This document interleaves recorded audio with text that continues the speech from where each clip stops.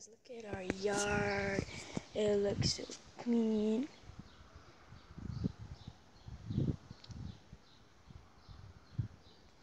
So clean. See, my uncle is right like behind the tree, like his truck is. So it's a pretty decent temperature out here. It's very bright and it's very refreshing. Okay, let's get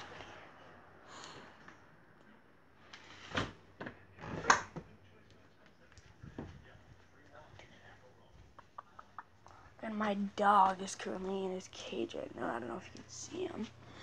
But he's in his cage. Looking all cute. So, um... I thought I told my little boy. um, so I'm gonna change my... dirt? Oh. That's just a bruise. Okay. So I'm gonna change my, um video date making, whatever. Instead of um, Friday and Saturday, I'm going to change it to Tuesday and Sunday. Yeah, Tuesday and Sunday. So, and so that's Wednesday. I decided to make a video because I hadn't made one in a long time. And I did not want to wait Sunday, so and goodies guys, we're gonna get a trampoline soon. And if you're wondering what this bruise is by my eye, a couple days ago, me and my brother were running and in the house, and we bumped our heads together right there. So it didn't leave a bruise, but the next day, I bumped my head again into my into my Great Dane dog's head, and it gave me this big bruise, which I just noticed today. It's terrible.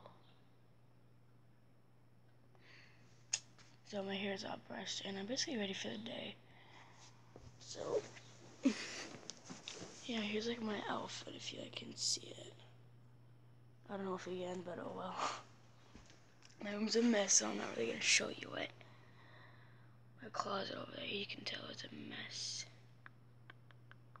Which sucks. And good news guys, I organized my LPS, good there. These are my LPS. And then uh, my big accessories.